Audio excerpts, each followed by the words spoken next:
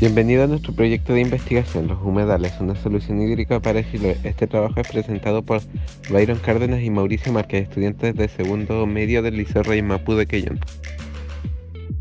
Iniciamos el noticiero de hoy con una lamentable información que proviene de nuestro humedal en Wildal.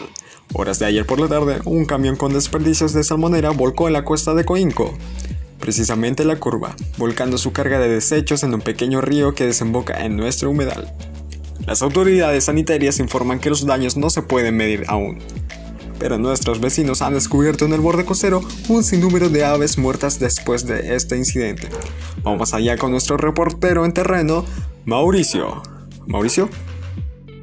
Byron aquí despachando desde el lugar de los hechos. Parecen los líquidos del camión han contaminado el humedal. Pero, ¿qué es un humedal para nuestra audiencia? Los humedales son ecosistemas de transición entre un ecosistema terrestre y acuático, que están temporal o permanentemente inundados, regulados por factores climáticos y en constante interrelación con los seres vivos que la habitan. Generalmente se los identifica como superficies cubiertas de agua o áreas en las que el agua subterránea aflora la superficie. ¿Por qué son importantes los humedales?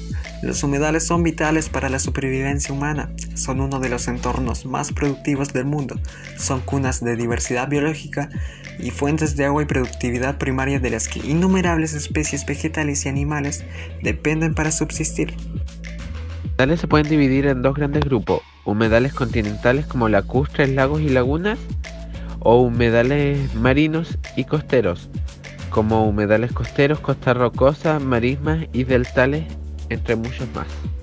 ¿Y qué es una marisma? Son pantanos salobres con inundación periódica ubicados en la zona intermareal del litoral Océano-Pacífico, en los estuarios de los ríos y en los mares interiores de Chile.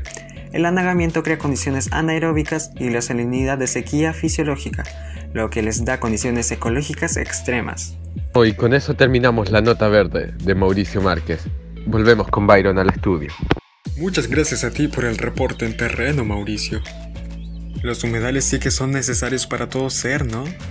Por eso debemos cuidarlos y manifestar nuestro cuidado. Bueno, aquí concluimos nuestro noticiero de hoy. Los esperamos ver en una próxima edición. Muy buenas tardes.